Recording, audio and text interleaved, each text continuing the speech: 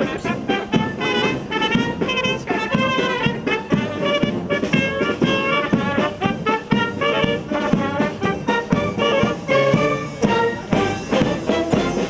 Весна, студенчество, успех. Именно этот девиз стал лозунгом первого в истории университета имени Пушкина Большого молодежного парада. Принять участие в крупномасштабном мероприятии изъявило желание огромное количество представителей студенческой братьи. Еще бы, ведь такой городской праздник – настоящее событие, и не каждый вуз может похвастаться его авторством и проведением. Большая колонна с Брестским городским духовым оркестром во главе растянулась на несколько сотен метров. Конечно же, такое событие не могло остаться без внимания прохожих, которые то и дело останавливали, чтобы посмотреть на ярких, молодых и целеустремленных студентов-пушкинцев. Это была сугубо студенческая инициатива.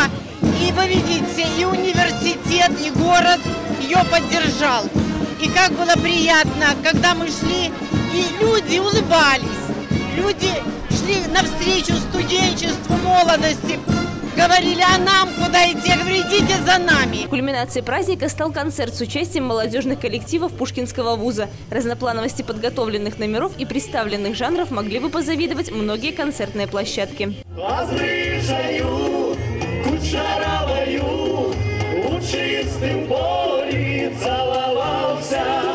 Хлопец, хлопец, не журися.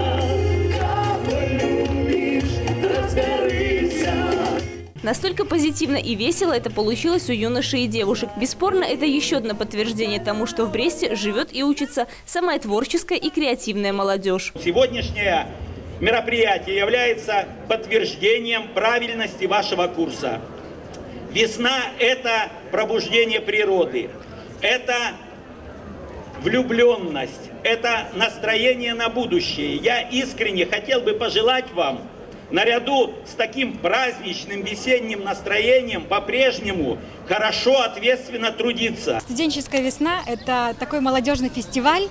Э, и вообще спасибо БРГУ, что они проводят его каждый год.